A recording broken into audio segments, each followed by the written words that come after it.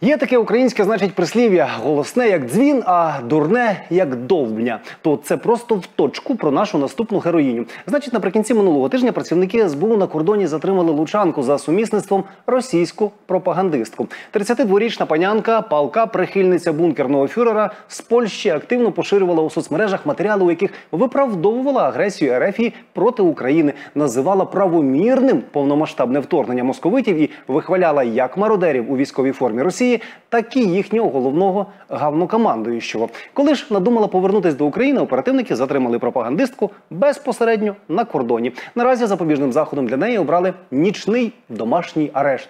Ну так собі запобіжний захід. Однак вирішується питання про проведення щодо панянки судово-психіатричної експертизи. Як виявилось, Ірина Сосніна, а мова йде саме про неї, раніше вже проходила психіатричну експертизу і навіть тричі лікувалася у спеціальних медичних закладах. Через проблеми з психікою була звільнена з роботи і в Україні, і згодом у Польщі. Мама самої Ірини визнає проблеми доньки, але стверджує, що Окрім того, з її дочкою хтось активно працює. І оті всі антиукраїнські дописи, які суперечать здоровому глузду, не тільки психічні проблеми самої 32-річної лучанки, яка називає себе ісконно руською, а й результати впливу когось з оточення. Зокрема, мама героїні згадує якусь подругу, яка й використала недугу Ірини Сосніної та, маніпулюючи хворою жінкою, надихнула її на поширення недолугої російської пропаганди. Як казав пан Вільям Шекспір, у кожного безумства є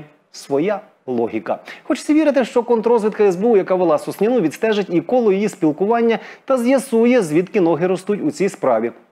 Підсумовуючи все вище сказане, Ірина Сосніна справді хвора людина, яка потребує системного і систематичного лікування у спецзакладах. І їй можна тільки поспівчувати, бо воістину не відає, що творить. А от через те, що російські агенти не цураються використовувати задля своїх брудних, безсоромних пропагандонських цілей навіть душевно хворих, от від того матюкатись хочеться. Зрештою, адекватна, здорова людина такої єресі поширювати не буде. Підписуйтесь, натискайте дзвіночок і дивіться свіжі випуски першими.